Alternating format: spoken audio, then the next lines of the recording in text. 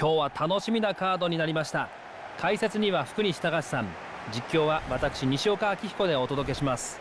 試合が始まるのが待ちきれませんね。今日はよろしくお願いします。今日はガンバ大阪対清水エスパルスのカードです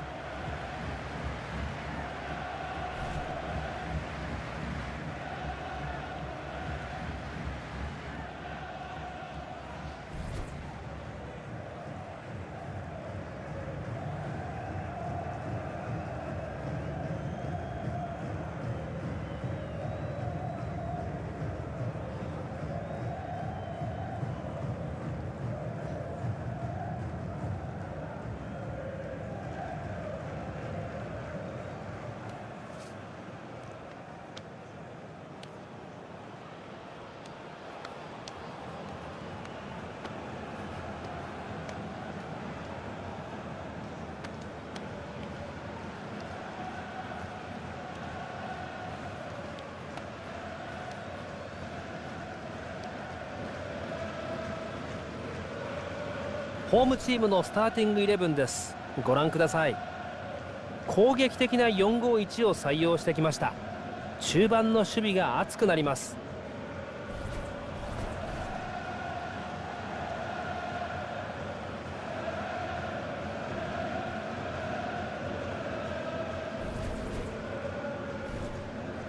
こちらがアウェーチームの先発メンバーです。442のフォーメーションです。2人のフォワードが縦に並ぶ形になっています。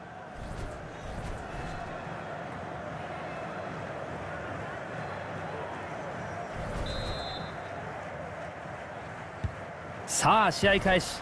まずはガンバ大阪のキックオフです。ファン・ウィジョー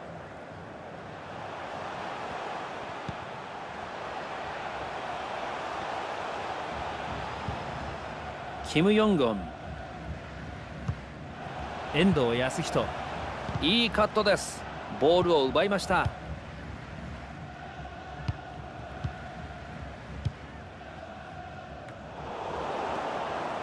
遠藤康人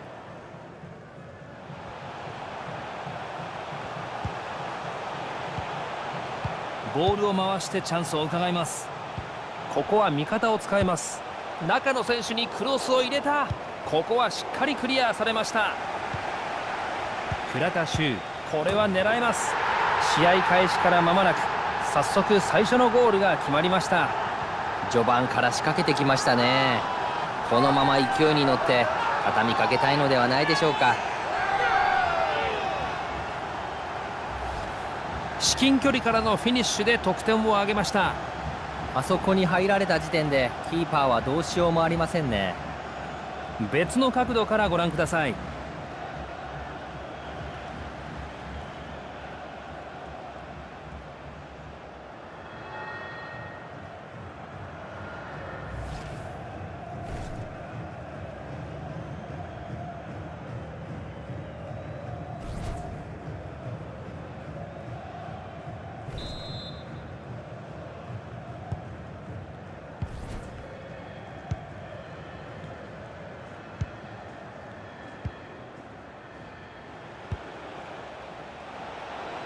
ボールを運びゴールに襲いかかります。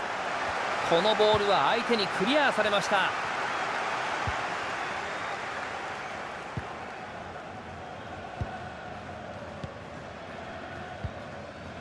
倉田修。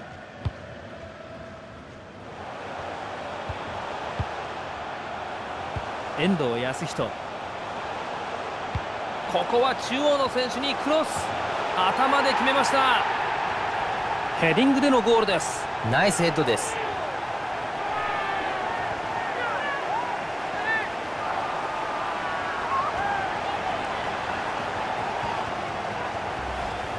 これで今日2ゴール。最初のゴールが自信になったのでしょうか。動きがいいですね。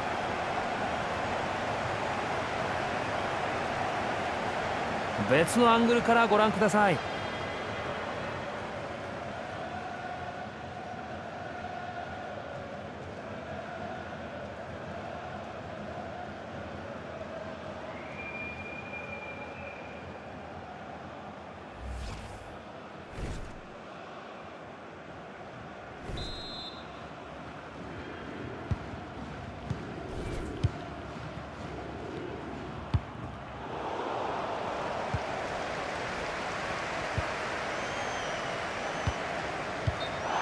掛けるタイミングが気持ち早すぎましたね。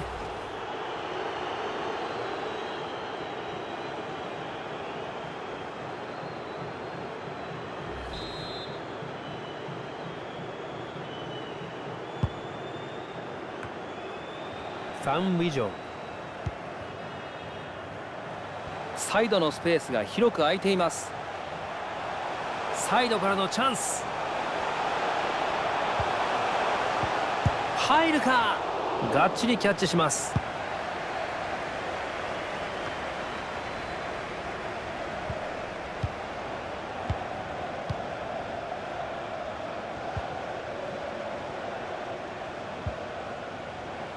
ここはサポートがあります。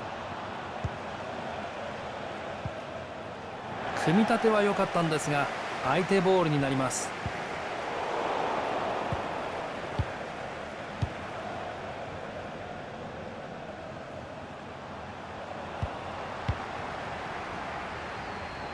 ファン・ウィジョン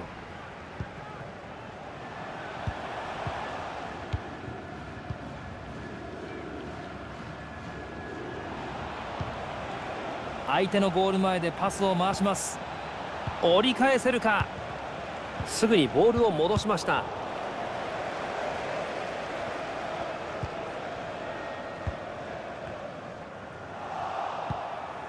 攻撃に移りたい味方につなぐこともできます。エウシーニョ。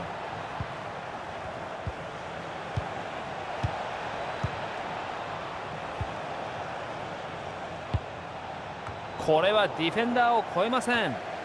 ここは押し出します。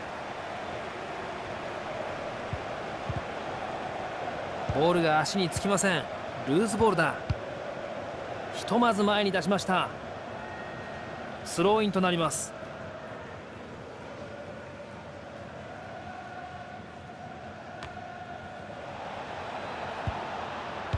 中央へのボールはクリアされました。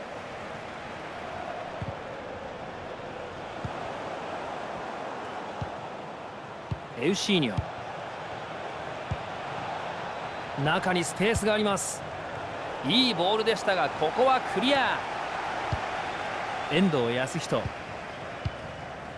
オジェソク。前半が終了しました。スコアは2対02点のリードでハーフタイムを迎えます。この選手前半は強烈な印象を残しましたね。早くも2得点ですか。ハットトリックを狙いますね。リードしているのはこの選手のおかげです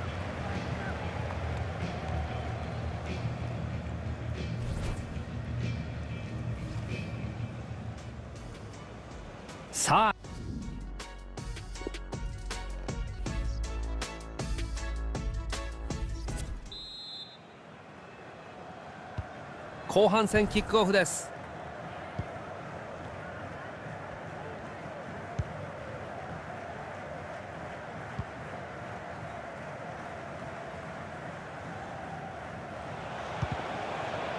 ここはボールロスト。ちょっと集中力を欠きました。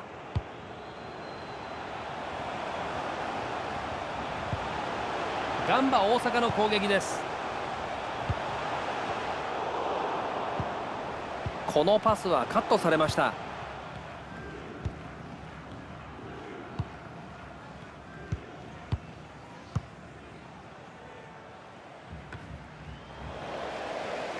アデミューソン。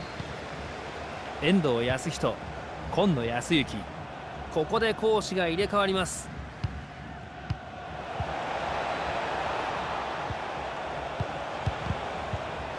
ボールを奪いました。さあどう組み立てるか。遠藤康人次々にパスをつなぎます。リードしていますから焦る必要はありません。オジェソク。ガンバが攻めに出ます。ここはシュートチャンス。ボールはキーパーが触った。よく止めましたね。今のは難しいセーブですよ。このパスはダメでした。通りません。ここは下がってブロックを作ります。短いパスをつなぎ様子を伺っています。味方がサポートに来ます。ボールがフリーになりました。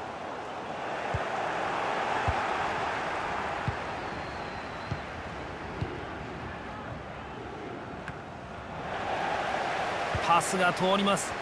ゲームを作るパスが光ります。今日の試合ここのホットラインからことごとくチャンスを作っています。チャンスは続きます。スローインです。ここで選手交代です。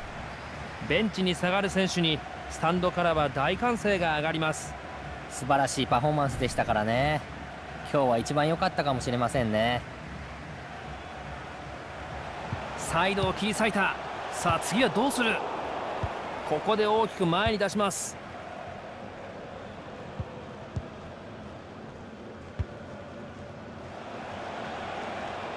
ここで一旦ペースを落としてボールを落ち着かせます。ニアの選手を狙った。いいボールを入れてきましたがここはクリア。アデミューソン。遠藤康人これはサイドを上がれそうです中の選手にクロスを入れた。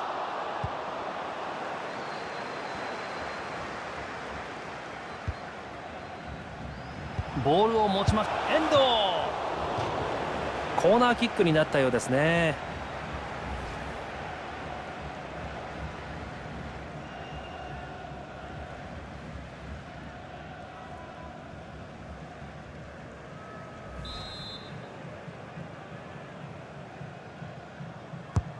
ゴール前に入れた。ここはしっかりクリアされました。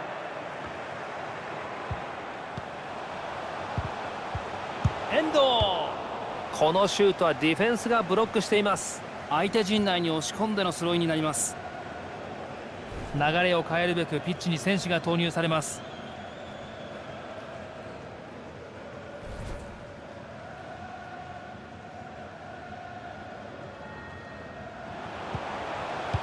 中にクロスが入った。いいボールでしたがここはクリア。チョンテセ。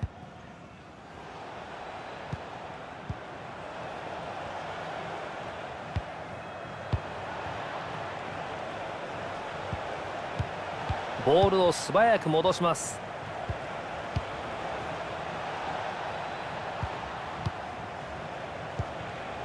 ファン・ソッ前線の選手がボールを受けに下がってきました。このクロスはどこを狙ったんでしょうか。ゴールキックです。すごい声援です。スタジアム全体がチームの勝利を願っているかのようです。はい。熱いサポーターの声援に選手もプレーで応えたいですね